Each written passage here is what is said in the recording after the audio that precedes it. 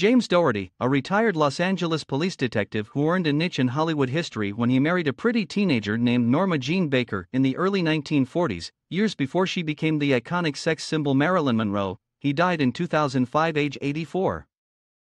Over the decades, Dougherty was repeatedly asked by reporters, biographers, and the curious about his four year marriage to the legendary star. I never knew Marilyn Monroe, and I don't claim to have any insights to her to this day, he told United Press International in 1990. I knew and loved Norma Jean. A former Van Nuys High School football captain and class president, Dougherty was 20 and working the night shift at Lockheed Aircraft when he began dating 15 year old Norma Jean Baker in January 1942.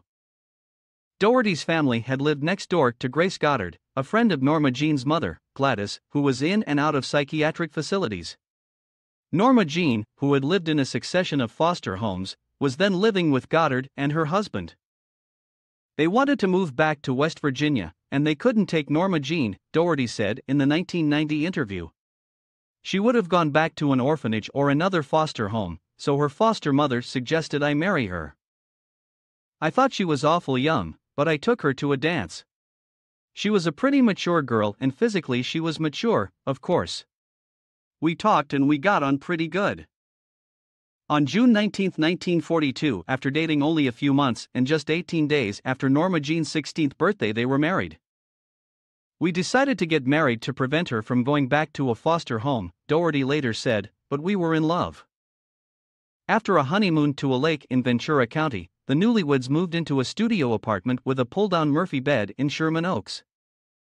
In 1944, Dougherty joined the Merchant Marines and was initially assigned to teach sea safety on Catalina Island, where the young couple moved into an apartment.